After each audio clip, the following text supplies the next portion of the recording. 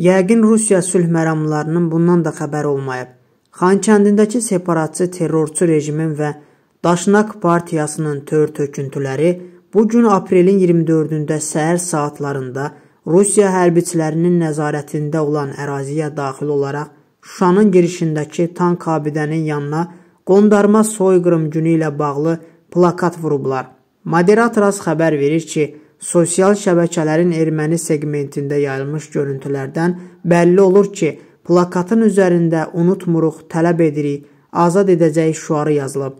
Xatırladaq ki, bəhs edilən tank 1992-ci ilin mayın 8-də Şuşanın işğalı zamanı şəhid milli qəhrəman Albert Aqarunovun vurduğu erməni tankıdır.